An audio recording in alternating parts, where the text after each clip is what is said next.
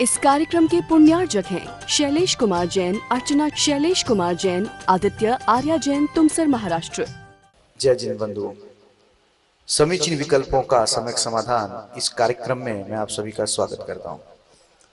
आचार्य भगवान गुरुवर श्री विशुद्ध सागर जी महाराज के स्वर्णिम जन्म जयंती के उपलक्ष्य में यह कार्यक्रम का आगाज़ हुआ था। बहुचर्चित कार्यक्रम सम्यक समाधान पारस टीवी चैनल में प्रसारित हो रहा है और इसके कारण से ही देश, विदेश, विभिन्न प्रांतों में जो श्रावकगण इसका लाभ ले रहे हैं और उसके माध्यम से जो अपने मन की तिमिर या मन की जो विकल्प है उसको शांत कर रहे हैं। चलो, चलते हैं। आज के कार्यक्रम की ओर बढ़ते हैं। मैं मुनिश्री को बारंबार नमोस्तु करता हूँ और आज के कार्यक्रम को गति प्रदान करने का अनुरोध करता हूँ। नमोस्तु नमोस्तु नमोस्तु। समीचीन विकल्प हम यहाँ प्रतिदिन प्राप्त हो रहे हैं और परम पूज मुनिश्री उनका आगमुक्त विधि से हम सबको सम्यक समाधान प्रदान कर रहे हैं। प्रारंभ करते हैं। आज का सम्यक समाधान और आज का पहला विकल्प बानपुर उत्तर प्रदेश से श्रीमती प्रज्ञा चौधरी, जो कि अपना समीचीन विकल्प परम पूज मुनिश्री के समक्ष रखते हैं। महाराज जी के चरणों में ती बार नमोस्तु महाराज जी नमोस्तु नमोस्तु। मेरा प्रश्न है कि तीर्थंकर के समूह शरण में केवली का क्या स्थान होता है?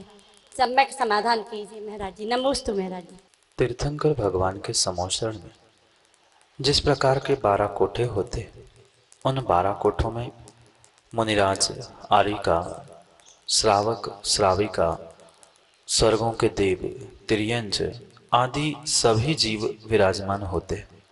उन उन जीवों में भी जो मुनिराजों का कोठा होता है, उन मुनिराजों के कोठे में ही सामान्य केवली भी विराजमान होते। बहुत अच्छी बात यहाँ पर यह समझना कि बहुत सारे जीवों में यह भ्रम होता है कि तीर्थंकर भगवान के समोशरण में मात्र वे ही केवली भगवान होते हैं, पर ऐसा नहीं है। तीर्थंकर भगवान के शिष्य रूप, जिन्होंने तीर्थंकर भगवान को अपना गुरु स्वीकारा है, उनका शिष्यत्व प्राप्त किया है। ऐसे बहुत सारे केवली जीव भी होते हैं, अवधि ज्ञानी मनपरिय ज्ञानी आदि अनेक प्रकार के मुनिराज वहाँ उस मुनिराज विराजों में विद्यमान होते। अंतर मात्र इतना होता है जैसे वर्तमान में भी आप देख, आपको देखने में मिलता है कि एक ही संघ में आचार, उपाध्याय, साधु तीनों होते हैं, पर तीनों का स्थान भले ही एक मंच, एक कमरे में है, पर उनका स्थान निर्धारित हुआ कर। आचार्य परमेष्ठी उच्च, उच्चासन पे, उससे नीचे उपाध्याय, साधु एलक शुल्लक आदि जैसा क्रम हमारे यहाँ वर्तमान में दिखाई देता है, बिल्कुल वैसा ही क्रम वहाँ पर कोठों में हुआ करता है। अंतर इतना है, अवधि ज्ञानी, मन पर ज्ञानी, सामान्य अन्य रिद्धिधारी, सामान्य मुनिराज, इनसे हटकर उसी कोठे में जो केवली भगवान होते हैं, जिसे हम सामान्य केवली कहते हैं, वह सामान्य केवली मात्र उन्हीं कोठों में, उनसे अधर में हुआ करते अगर वे समतल भूमि में बाकी सभी मुनिराज अवधि ज्ञानी आदि बैठ रहे हैं तो उससे कुछ ऊंचाई पर वे सामान्य केवली भगवान, उन के कोठ का जो निर्धारित स्थान होता है, उसी स्थान के बिल्कुल थोड़ा सा ऊपर की तरफ़, अधर में वे सामान्य केवली मुनिराज विराजमान होते हैं। पुराणों में, जैसे चौबीस तीर्थंकर पुराणों में भी या आदि पुराण, आदि अनेक ग्रंथों में आचार्य भगवंतों ने प्रत्येक वर्तमान के तीर्थंकर के प्रत्येक उन समोषण की व्याख्या करते हुए कितने सामान्य केवली थे, कितने अवधि ज्ञानी मुनिराज थे, कितने मनपर्य ज्ञानी, कितने रिद्धिधारी, कितने सामान्य मुनिराज, आदि सबका विस्तृत रूप से व्याख्यान किया है और वहीं पर यह भी उल्लेख किया है कि ये जो सामान्य केवली वहाँ पर समोषण में भगवान की दिव्य ध्वनि सुनने के लिए पहुँचते हैं, वह भी उन्हीं मुनिराज के कोठों में मात्र ज़मीन से ऊपर अधर में रहते हैं, वहाँ वास्तव में वैसी कोई समोषण में भूमि नहीं है, पर जिस समतल भूमि पे सामान्य बारह सभा होती है, उनमें से एक जो मुनिराज की सभा है, उसके ऊपर, यानी अधर में वे अवधि ज्ञानी मुनिराज विराजमान होते हैं, यही आपके लिए सम्यक समाधान। पंडित अंशुल पार्स शास्त्री दिल्ली से परम पूज मुनिश्री के चरणों में कोटि कोटि नमोस्तु निवेदित करते हुए अपना समीचीन विकल्प रख रहे हैं कि महाराज जी, वर्तमान समय में विवाह पद्धति में एक अजीब सा परिवर्तन देखने में आ रहा है। अनेक नामों से विवाह की पद्धतियाँ प्रचलित हो रही हैं। कहीं संगीतमय फेरे हो रहे हैं। कहीं फेरे पड़ने के बाद बरमाला आदि का कार्यक्रम होता है। तो क्या आगम विधि से यह सही है? हमारे समीचीन विकल्प का सम्यक समाधान करने की अनुकंपा करें। नमोस्तु महाराज जी नमोस्तु। आदि पुराण आदि के निमित्त से आचार्य भगवंत ने जो एक श्रावकोचित क्रिया है, उन त्रेपन्न क्रियाओं का बहुत विस्तार से हम श्रावकों के लिए और साधु वर्ग के लिए विस्तार से व्याख्यान दिया है। और उस व्याख्यान करते समय विवाह आदि के भी प्राणी ग्रहण विवाह आदि के निमित्त से भी जो जैसी क्रिया होनी आवश्यक है, उसका व्याख्यान ग्रंथों में प्राप्त होता है, आगम में प्राप्त होता है। वर्तमान में भौतिकता के चकाचौंध में या अन्य किसी प्रकार से समझ लेना, जीव जो अनेक अनेक प्रकार से उन विवाह पद्धतियों को संपन्न कर रहा है, उसका उल्लेख किंचित भी किसी आगम ग्रंथ में नहीं होता। मात्र दिखावे के चक्कर में व्यक्ति आज बहुत कुछ बातों को भूल चुका है, चाहे वह संगीत में फेरे हो या फेरों के पहले वरमाला बाद में सुबह कुछ कर लिया, फिर रात को कुछ हो रहा है, ये किंचित भी आगम में वर्णित व्यवस्थाएँ नहीं है। पर जो और भी वर्तमान में ऐसी बहुत सारी विवाह पद्धति प्रारंभ हो रही है, वह तीर्थंकर भगवान के वाणी में उसका वर्णन किंचित भी प्राप्त नहीं होता। चाहे वह कितना ही बड़ा व्यक्ति क्यों ना हो, वह चक्रवर्ती भी क्यों ना हो, पर तीर्थंकर के वाणी से बड़ा वह चक्रवर्ती नहीं होता। और इसलिए जो आगम में व्यवस्था बताई गई है, विवाह पद्धति की, बिल्कुल उन्हीं पद्धतियों के अनुसार ही हमें वह श्रावकों को संस्कार आदि देने की आवश्यकता है। पर सबसे बड़ी बात तो पंडित जी मैं आप के लिए कह रहा हूँ कि आपको ही यह जैसे ही समाज थोड़ा सा लोभ दे, देती है आप ही स्वयं उन सभी क्रियाओं को करने के लिए प्रवृत्त हो जाते हो। अगर आप जैसे ही सभी विद्वान निर्णय कर ले कि हम आगम के विरुद्ध इन क्रियाओं को नहीं करेंगे तो श्रावक समाज तो बेचारी भोली भाली है। आप या आप जैसे विशिष्ट लोग जो जैसा कहेंगे वो उसके हिसाब से करते रहेंगे। इसलिए बहुत अच्छी अच्छी बात तो यही है कि कुछ विशेष लोग अपना लोभ छोड़ दे और वे ही कह दे कि आगम में ऐसी क्रियाएँ नहीं है तो उस लोभ को छोड़ते हुए आगम के अनुसार अगर क्रियाएँ करेंगे तो वह वास्तव में आपके लिए भी और उन पंडित विद्वानों के लिए भी जो उन क्रियाओं को कर रहे हैं, वह परिपूर्ण रूप से जीवन में या आने वाले समय में कुछ पुण्य का वर्धन करने वाली हो सकती है, अन्यथा नहीं हो सकती। ये बात भी पंडित जी बहुत अच्छे से समझना, आगम में आचार्य भगवंतों ने तीन जीवों के लिए विशेष स्थान का वर्णन किया है, अगर उन्होंने आगमोक्त क्रियाएँ नहीं की है। पहले डॉक्टर, दूसरा वकील और तीसरा पंडित प्रतिष्ठाचार, आगम के अनुसार अगर क्रियाएँ नहीं करता है तो उनके लिए सीधा आचार्य भगवंत लिखते हैं, वह नरक की व्यवस्था बना रहे इसलिए बहुत अच्छी बात तो यही है कि अगर आप ही समझ जाओ तो किंचित भी किसी दूसरों को समझाने की आवश्यकता नहीं है।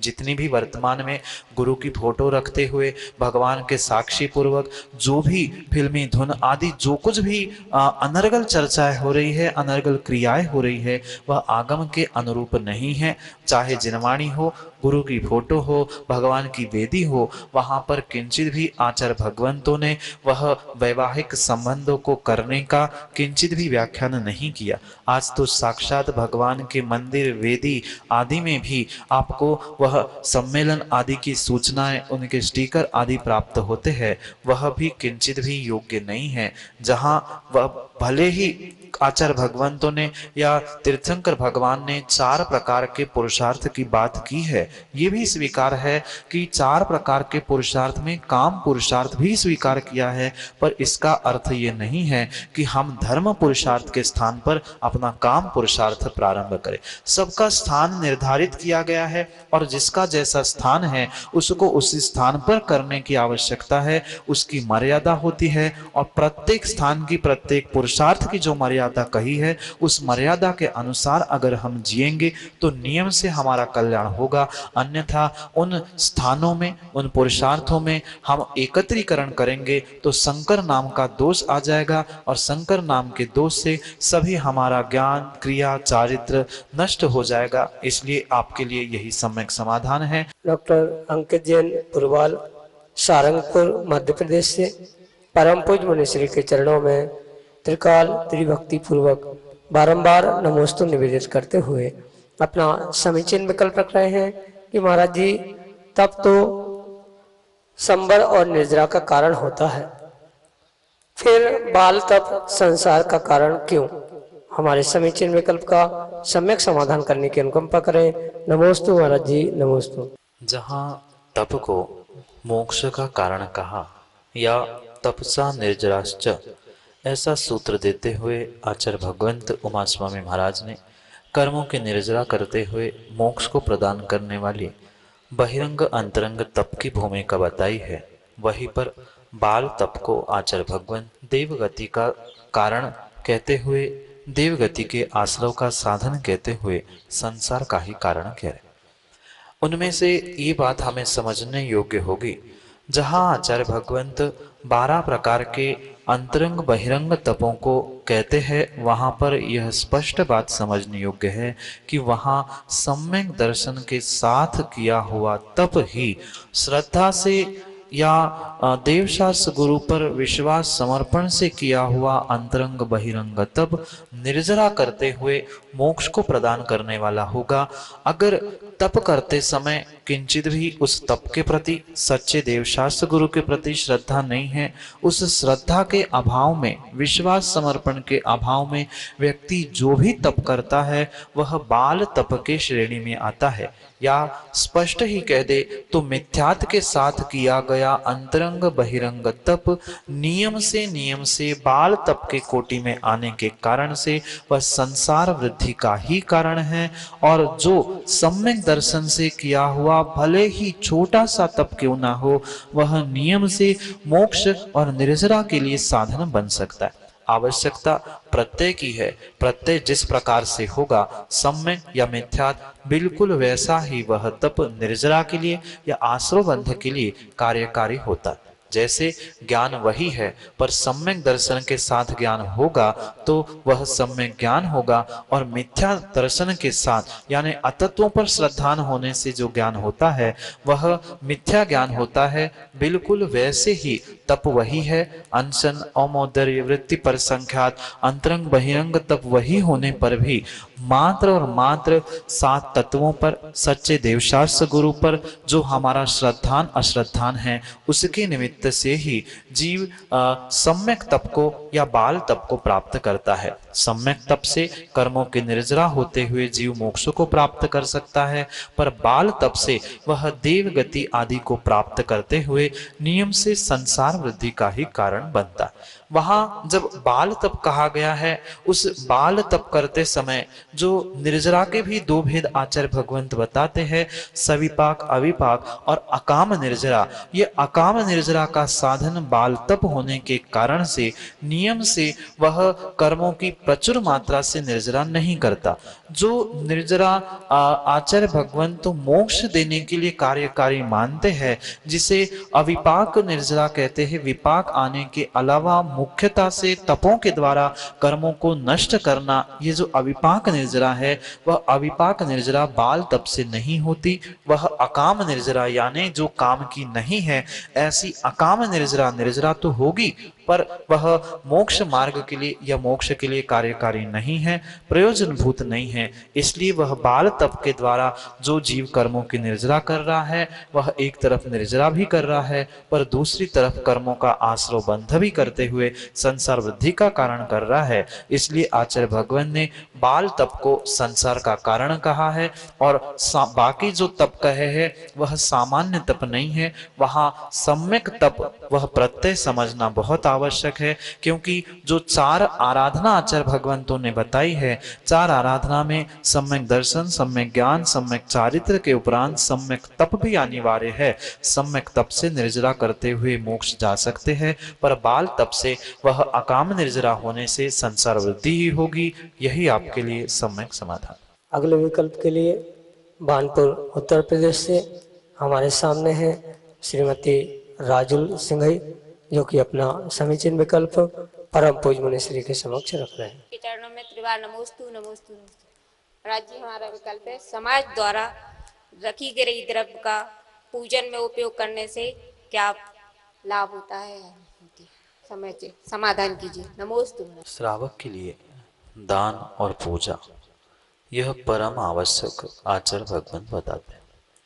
और जहाँ श्रावक के लिए दान और पूजा की व्याख्यान होती है। उन दान पूजा के समय में आचार्य भगवंत का उनको आवश्यकों में समावेश करने का मात्र और मात्र एक यही अभिप्राय है कि श्रावक अपनी लोभ कषाय को दूर करे। चाहे दान देने का समय हो, चाहे भगवान अरिहंत की पूजा अभिषेक करने का औचित्य क्यों न उन प्रत्येक अवसर पर व्यक्ति को या श्रावक को मात्र और मात्र अपनी लोभ कषाय का विसर्जन करना ही अनिवार्य होता है। जैसे स्वयं की जो द्रव्य होती है, चाहे दान में हो, चाहे अरहंत की पूजा में हो, जो लोभ कषाय का विसर्जन करने के लिए दान पूजा कही गई है परिपूर्ण रूप से मात्र और मात्र स्वयं के द्रव्य से ही दान देना और स्वयं के द्रव्य से ही अरहंत आदि की पूजा करना, वहाँ दान पूजा श्रावक के आवश्यकों में अभिप्रेत है। किंचित भी वर्तमान में जो यह व्यवस्था बनी हुई है कि मंदिर में द्रव्य रखी हुई है, चाहे सूखी रखी हो, हम उसे उठा के साफ़ करके या प्रासुक करके प्रयोग कर रहे हैं, या कई मंदिरों में तो ये भी व्यवस्था होती है, पहले से ही द्रव्य की थाली सजा के रखी है, उठाया, हमने चढ़ाया और हम घर आए।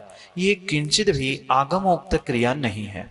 जहाँ भी दान पूजा की व्याख्या है, मैं पुनः पुनः इस बार को ज़ोर दे के कह रहा हूँ, मात्र स्वयं के द्रव्य का ही दान, स्वयं के द्रव्य की से ही पूजा होती है। अन्य किसी का दान, अन्य किसी के द्रव्य से पूजा किंचित भी नहीं होती। आचार्य भगवान तो इतना कठोर शब्द कहते हैं, अगर भोजन करने के लिए नहीं है तो दूसरे से मांग कर भोजन तो कर लेना, पर भगवान की पूजा करने के लिए अगर द्रव्य नहीं है तो तो कुएँ से पानी खींचकर मात्र पानी चढ़ाना, पर कभी भी दूसरे के द्रव्य से पूजा, दूसरे के द्रव्य से दान किंचित भी करने योग्य नहीं है। क्योंकि आप भले ही मंदिर की व्यवस्था कह दो, समाज की व्यवस्था कह दो, या किसी अन्य प्रकार से कोई भी बहाना आप दे देना, पर ये बात समझना द्रव्य जिसकी है, उस द्रव्य का पुण्य उसी जीव को लगेगा। आपका कुछ भी द्रव्य लगा नहीं था, आपकी लोभ कषाय नष्ट नहीं हुई थी, इसलिए आप उस, आपको उस द्रव्य चढ़ाने का, आपको उस दान देने का फल किंचित भी मिलने वाला नहीं है। दान की भी व्याख्या करते हुए आचार्य भगवंत कहते हैं, स्वस्याति सर्गो दानम स्वयं के द्रव्य को, स्वयं के और दूसरे के उपकार के लिए जो दिया जा रहा है, वास्तव में वही दान दान है। पूजन की कही गई है, वहाँ भी अगर हम दान दे रहे हैं, द्रव्य चढ़ा रहे हैं, दूसरे का द्रव्य, दूसरे का बर्तन, सब कुछ समाज का, मंदिर का, मेरा क्या लगा? और जब तक मेरा कुछ नहीं लग रहा है, तब तक मुझे पुण्य नहीं मिल रहा है। भगवान मंदिर के, पानी मंदिर का, थाली मंदिर की, द्रव्य मंदिर का और मोक्ष फल प्राप्त आपका ही द्रव्य आपकम निरूपा में तीसवा फल किसे मिलेगा हमें फल नहीं मिल सकता। फल अगर हमें चाहिए तो हमें स्वयं की द्रव्य, स्वयं के द्वारा प्रासुक करते हुए, स्वयं के द्वारा उसका शुद्धिकरण करते हुए, वही द्रव्य भगवान के लिए, गुरु के लिए चढ़ाने योग्य है, दान करने योग्य है। क्योंकि फोकट का चंदन, घिस मेरे नंदन, हमें क्या फल मिलेगा? किसी का चंदन, किसी का द्रव्य, किसी की सामग्री, सब कुछ तो हमने मंदिर का ले लिया। आजकल तो वर्तमान में वस्त्र भी मंदिर के, बर्तन भी मंदिर के, सब कुछ मंदिर का ही लग रहा है। मुझे पुण्य मिलने वाला नहीं है।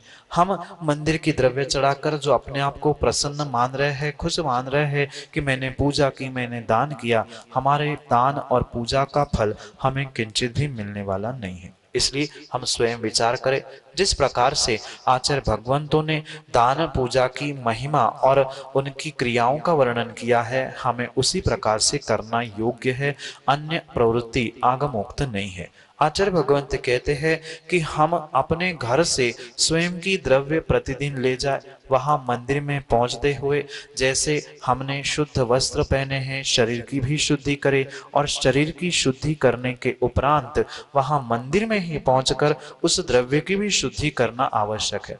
माँ, घर में आप अगर भोजन बनाने के लिए चावल धो रहे हो तो वहाँ तो आप पाप का आश्रव कर रहे हो, पर वही दान और पूजा के निमित्त से चावल वही धो रहे हो तो वहाँ आप उन क्रियाओं को करते समय पुण्य की प्राप्ति कर रहे हो।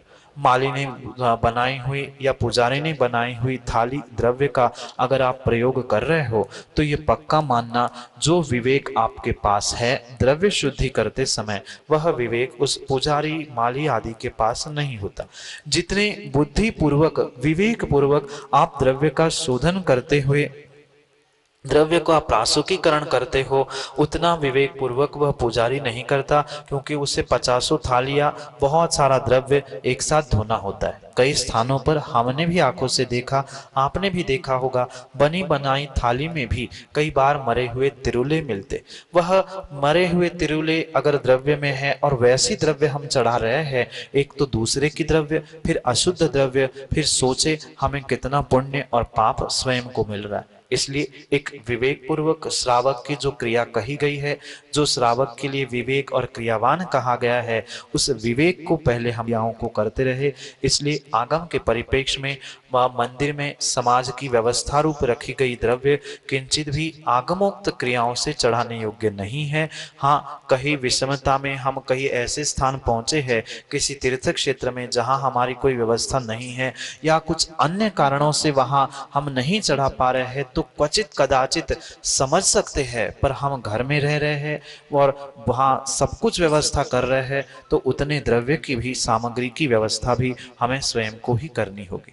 भले ही आप कह दे, कह सकते हैं कि हम उतने पैसे वहाँ डाल रहे हैं, पर मात्र पैसे डालने से वह द्रव्य की शुद्धिकरण आदि का विवेक नहीं होने के कारण हम वहाँ पाप का ही आश्रय कर रहे हैं, पुण्य प्राप्त नहीं कर पा रहे। इसलिए हम यात्रा करने भी जाते हैं तो बहुत सारे कपड़े, बहुत सारे भोजन की सामग्री जब ले जा सकते हैं तो चंद सामग्री, द्रव्य, बादाम आदि हम अवश्य ही ले जा सकते हैं, या वहाँ भी खरीद कर अपने ही द्रव्य से भगवान की पूजा, अपने ही द्रव्य से मुनियों को दान आदि किया जा सकता है, दूसरे के द्रव्य का पुण्य हमें नहीं मिल सकता, इसलिए आगम के परिपेक्ष में आप समाज मंदिर में रखी हुई द्रव्य का ग्रहण ना करते हुए, स्वयं की विवेक से क्रिया करते हुए स्वयं का द्रव्य दान और पूजा में लगाए तो ही स्वयं को पुण्य मिलेगा। यही आपके लिए सम्यक समाधान। अगले विकल्प के लिए हमारे सामने है श्रीमती रेखा जैन नायक बानपुर उत्तर प्रदेश से जो कि अपना समीचीन विकल्प परम पूज मुनिश्री के समक्ष रख रहे हैं। मुनिश्री के पावन चरणों में नमोस्त गुरुवर नमोस्त गुरुवर नमोस्त गुरुवर। मुनिश्री एक साथ यदि दो तिथि एक ही साथ पड़ जाती हैं तो उस दिन अपने एकासन का व्रत क्यों नहीं माना जाता है? आप इसका समीचीन विकल्पों का संका समाधान कीजिए। नमोस्तु गुरु ऐसा कोई नियामक नहीं है कि दो तिथियाँ अगर एक साथ पड़ रही है तो हम व्रत नहीं कर सकते। ऐसा कोई सर्वथा विधान आगम में नहीं है। पहली बात तो हमें उन तिथियों के निमित्त से ये समझनी होगी कि जहाँ पर दो तिथियाँ चाहे अष्टमी नवमी हो सप्तमी अष्टमी हो या अन्य किसी प्रकार से भी अगर वह दोनों तिथियाँ एक साथ आ रही है तो वहाँ पर यह देखना आवश्यक है कि कौन सी तिथि कितने समय के लिए है।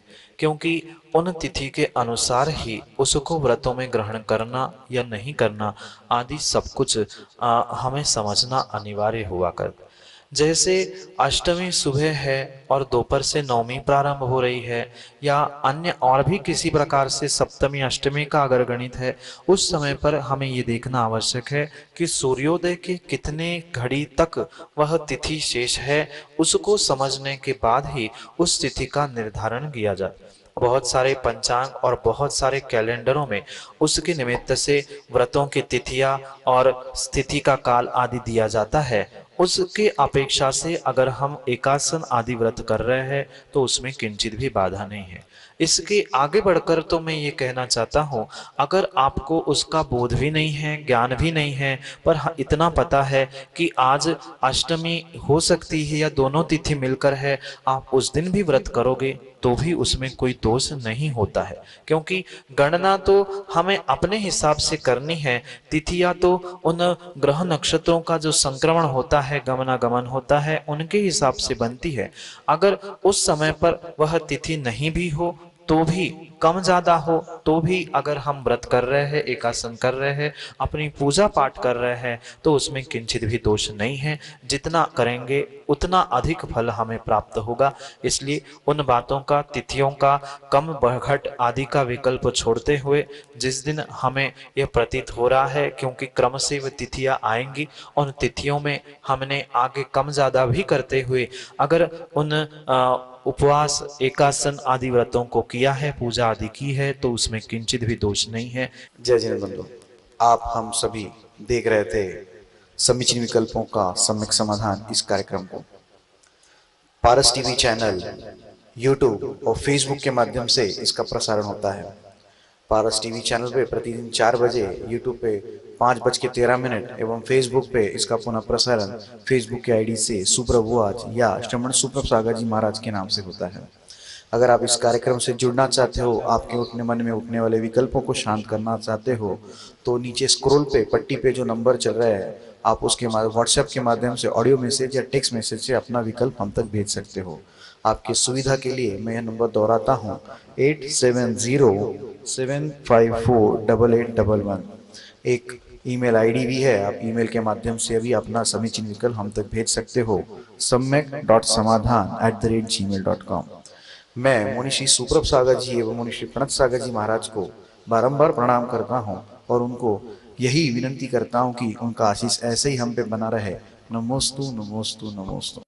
इस कार्यक्रम के पुण्यार्जक हैं शैलेश कुमार जैन, अर्चना शैलेश कुमार जैन, आदित्य आर्या जैन, तुमसर महाराष्ट्र।